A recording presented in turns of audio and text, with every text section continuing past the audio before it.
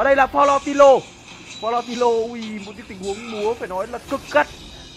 Tú có người yêu. Và có lẽ người chơi này có lẽ sẽ có người yêu thôi. Đánh quá ghê. Trong video này, chúng ta hãy cùng test hiệu năng IQ Z9 Turbo khi mà chơi game nhẹ với Liêm Quân Mobile và COD nhé các bạn. Để xem là chiếc máy này, nếu mà chơi game nhẹ thì nó có nóng hay không nhá. Ở đây thì mình sẽ có cái điểm số Antutu là 1 triệu 466 nghìn điểm. Thật sự thì với những cái tự game nhẹ như thế này mình cũng không muốn bật chế độ monitor Chúng ta hãy test với cái trường hợp là mình chơi chế độ cân bằng anh em nhé Cân bằng thôi để làm sao cho máy nó mát. Về phần dữ liệu thì mình đã tải hết 100% rồi anh em ạ. Tải full dữ liệu luôn. Setting này Cơ bản này Hình ảnh và âm thanh để rất cao Ultra uh, Thấp Ultra tối đa là 90 đúng không? Trung bình nó sẽ chơi được trung bình với mức setting ultra. Ok ok. Có khử răng cưa này, đổ bóng các thứ này. Ở đây mình cũng sẽ có những cái thông số về nhiệt độ, FPS hay là thông qua cái phần mềm scanner nhé. Thông số ở đây thì đang báo là 120 FPS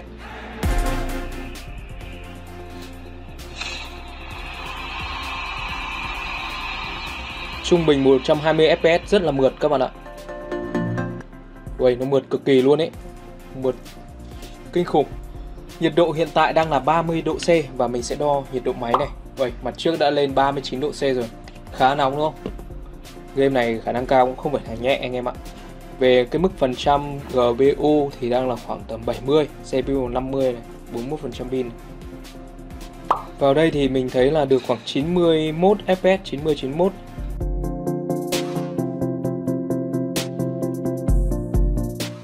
bay máy bay luôn này. Chúng ta cùng xem nhiệt độ nhá. Đây, nhiệt độ thì ở mặt trước đang là khoảng 40 vậy để chế độ cân bằng đi. Sao cân bằng chơi vẫn rất là ổn rồi. FPS phải nói thẳng tắp luôn. Thẳng tắp không có khựng lag gì cả. Mà chơi từ nãy giờ là khoảng tầm 8 phút rồi. Pin vẫn đang là 41% nhiệt độ 40 độ C nhé sau khoảng 15 phút thì ờ, dung lượng pin hiện tại còn 40%, nhiệt độ pin là 41,7 độ C nhé. Mình sẽ đo này. Nhiệt độ mặt trước vẫn chỉ loanh quanh khoảng 40,8 độ C thôi, nó không tăng cao. Còn đây là nhiệt độ mặt sau. 40,8 41 độ. Kể cả đi xe như thế này nhưng mà Call of Duty tối ưu rất là tốt luôn. FPS không tụt quá nhiều và mình thấy phần trăm GPU nó chỉ sử dụng khoảng từ 70 đến 80 mình chuyển về cái chế độ FPP xem nó có bị nó có bị khựng lag hơn hay không nhá. Nhưng mà vẫn rất là mượt.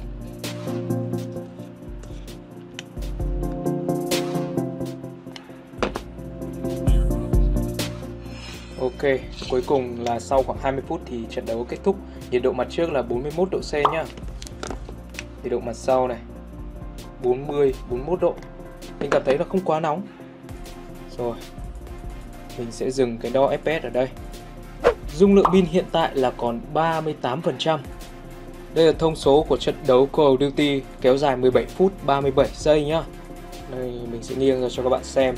FPS cao nhất ban đầu đúng là 121 trung bình là 90 FPS anh em ạ. Nghĩa là FPS của nó thẳng tắp 90 luôn Độ ổn định là 98,3% Nhiệt độ cao nhất 41,8 Đây trong nhiệt độ pin còn cái công suất tiêu thụ là 4,18W nó nhỏ hơn ít hơn Genshin Impact rất là nhiều. Đây anh em thấy này FPS này thẳng tắp một đường giống kiểu một đường chỉ luôn. Và nhiệt độ thì nó sẽ tăng lên tăng từ khoảng tầm 40 lên khoảng hơn 41 thôi. Cũng khá là ok. Đây là cái độ ổn định của nó này. Độ ổn định. Chỉ có một vài chỗ khi mà mình bay mình di chuyển mình uh, nhảy xuống ấy nó drop thôi phần trăm CPU và GPU dưới 90 nhé có một vài chỗ này, một chỗ này, chỉ có một chỗ duy nhất là đẩy lên trên 90% còn lại sẽ là quanh khoảng 70 đến 90% ổn định ở đấy. Ok, tiếp theo là Liên Quân Mobile. Với tự game này thì đương nhiên mình cũng đã tải hết dữ liệu vừa rồi anh em nhé mức setting này HD HD thiết lập giao diện FPS cao, viền, bật tất cả mọi thứ lên. Mình sẽ chơi 60 thôi chơi nhẹ nhàng 60 chứ không quá cho hát ừ, đẩy lên mức 120 đâu. Đây, sang cái tựa game này thì bắt đầu vào game, nhiệt độ cũng chỉ loanh quanh khoảng 38 39 độ C nhé mình sẽ chơi cái con tướng tủ Florentino. Các cái thông số ban đầu anh em thấy được. Nhiệt độ pin 40 CPU 52 GPU cũng 51 nhiệt độ RAM 50 độ C. Thời gian hiện tại đang báo là 20 ờ, phút nha các bạn, cộng với 6 phút ban đầu là khoảng 26 phút. Ok, mình bắt đầu đo FPS này. Dung lượng pin ban đầu trận đấu là 37%.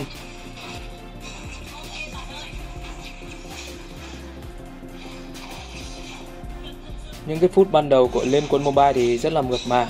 Mình thấy là nhiệt độ nó cũng khá là dễ chịu thôi. Anh em thấy từ nãy giờ mình múa cũng khá là gắt nhưng mà FPS nó vẫn giữ nguyên, gần như thằng đứng là 60 61 anh em ạ.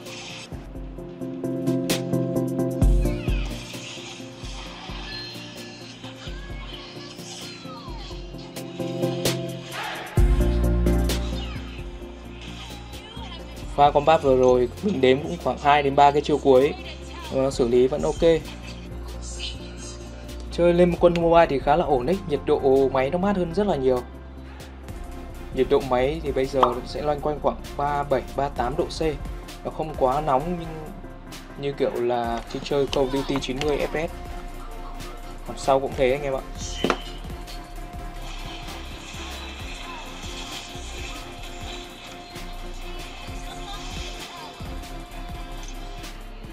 Ok, trận đấu đã kết thúc rồi.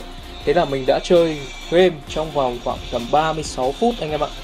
Dung lượng pin hiện tại là còn ờ, 35% nhá. Mình xin 10 giây quảng cáo cho cửa hàng laptop mình đang làm nhá. Laptop TC số 1 laptop đồ họa mua máy chạm đến laptop TCC. Đây là những cái thông số của chúng ta. Mình đã chơi ờ, mình đã đo trong vòng 8 phút 45 giây khi bắt đầu vào trận đấu nhá. Trung bình là 60,3 fps với cái độ ổn định là 100%. Anh em nhìn cái biểu đồ đi, thẳng tắp luôn thẳng tắp ấy anh em ạ nhiệt độ thì cũng như thế.